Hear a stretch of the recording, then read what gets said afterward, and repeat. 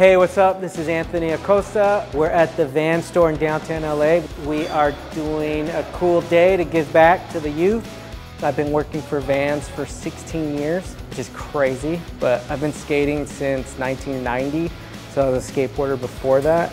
I grew up in Norwalk and coming to downtown LA since I was 12 years old and traveling and skating and just growing up around the culture. And I think that definitely helped me have an understanding of like aesthetic and like you know what is cool what's not cool why? What you guys are doing outside skating every day like you're learning. You're learning to see you're learning skate spots. Everything has like a lot of aesthetic and design and i feel like this was such a rad class to kind of incorporate the shoe design and from what concepts to the finished product to photography that ave is a perfect example of all of this. It kind of is natural to speak about it. That's what's right about photos too. Like all these mean so much way later down the road.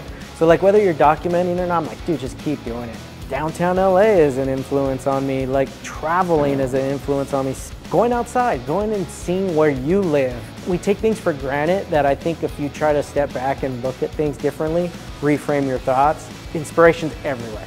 Looking at you guys, like inspiration, I'm inspired. This is sick that's all we can give back is inspiration. So it's like, that's inspiring, that's rad. Like everyone's got their story, everyone's got something to give that we all think we don't, but it's like everyone has something to give back and that is inspiring to be able to inspire that.